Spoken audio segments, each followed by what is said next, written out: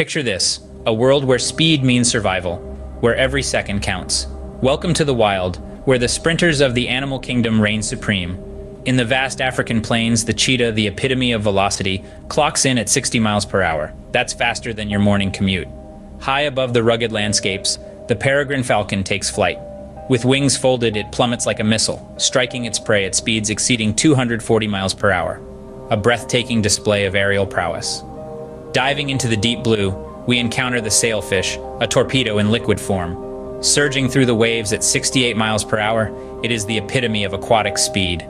Makes you think twice before diving in, doesn't it? This is the realm of the fastest. And remember, in the wild, speed isn't just a thrill, it's a matter of life and death.